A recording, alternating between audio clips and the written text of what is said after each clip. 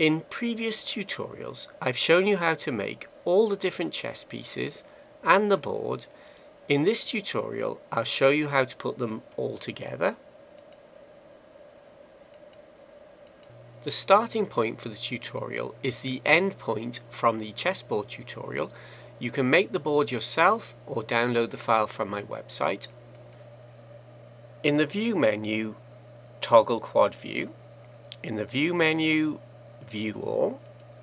Select the chessboard, click the Modifiers button and apply both array modifiers. In the Object menu, transform Origin to Geometry. Click the Object Properties and set the X location and the Y location of the chessboard to 0. In the View menu, View Selected. The first piece I'm going to bring into the scene is the pawn. File Append. Go to the folder where the file is saved, select it, go into the Object folder, select it and append. The first thing I'm going to look at is the size or scale of the piece. In the View menu, toggle Quad View. Use the tip of the blue arrow to move the piece up just above the board. In the top view, zoom in with the mouse wheel.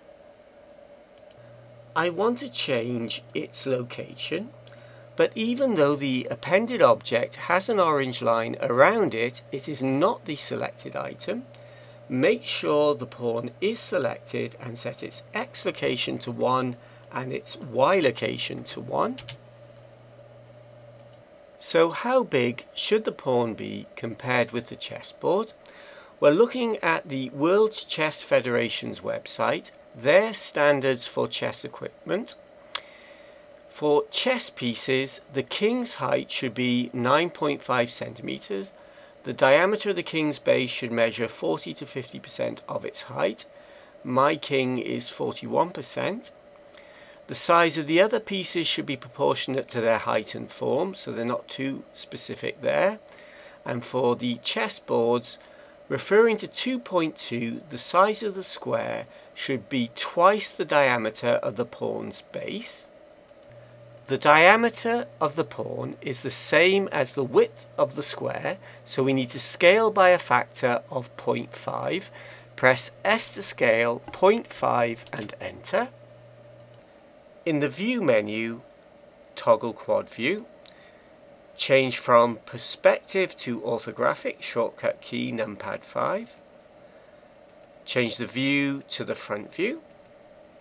Zoom in with the mouse wheel Change shading to solid. To place the chess piece vertically, either use the tip of the blue arrow or press G to grab, Z for the Z axis and move it down. For flat bottomed objects resting on flat surfaces, placing by hand gives good results, especially if you zoom in, but I'm going to show you another method. I'm going to use the built-in physics engine to drop the piece to ground.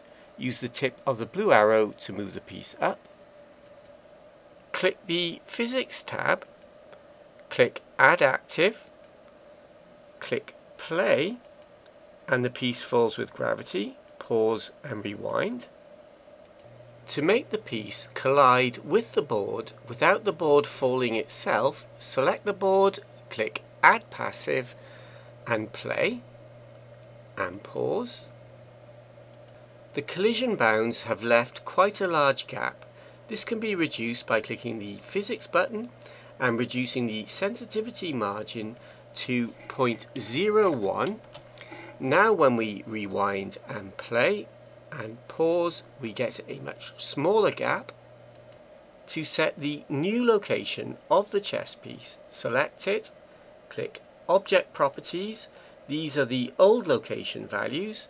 Click apply transform and they are updated. Rewind and remove physics. Change the view to the top view and zoom back with the mouse wheel. The squares are two blender units wide, so the X positions are 1, 3, 5 and 7 and minus 1, minus 3, minus 5 and minus 7 and the Y positions are the same. To move the pawn to this square here, set its X location to minus 7 and its Y location to 5. To set up the material for the pawn, click the Material button, click the Browse Material button and select the white marble material that was used for the squares.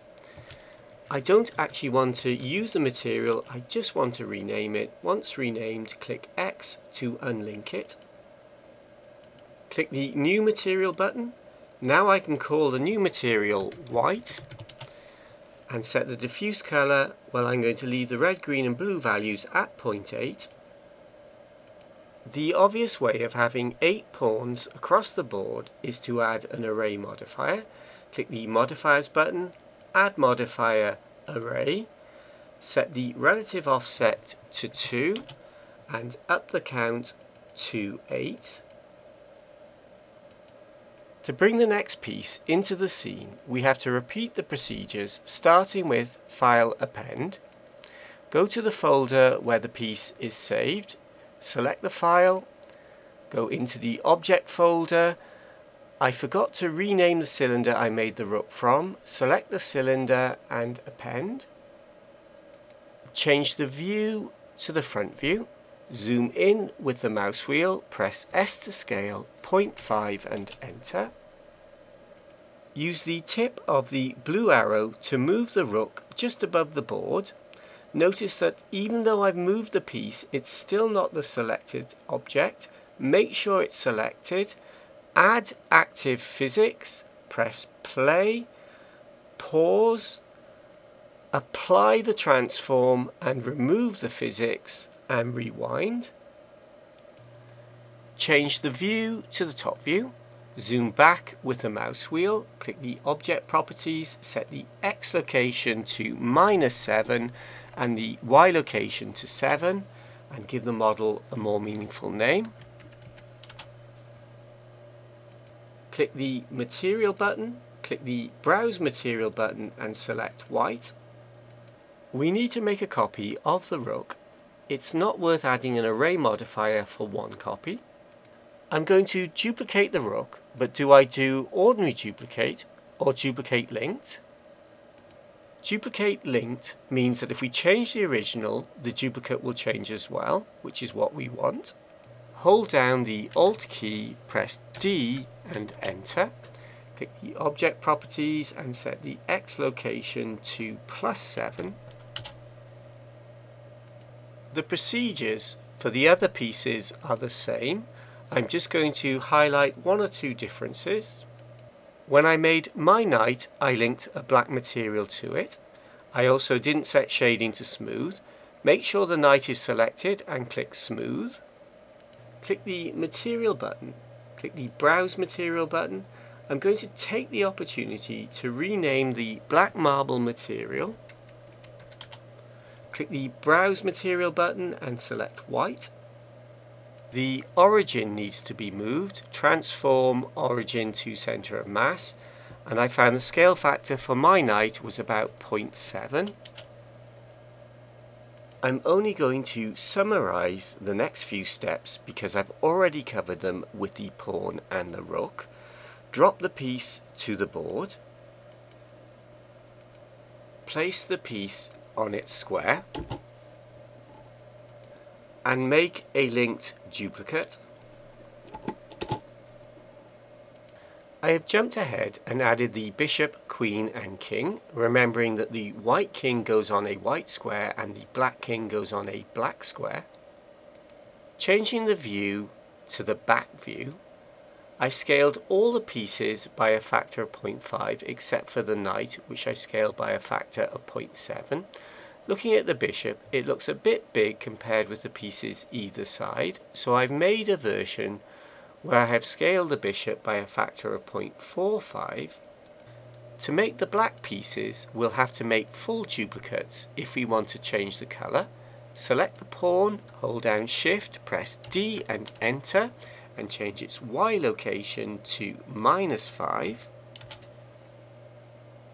Click the material button, click the Add Material button, call the new material black,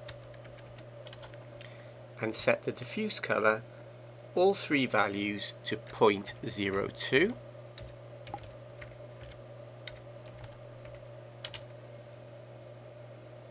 Select the knight, duplicate, Shift D and enter.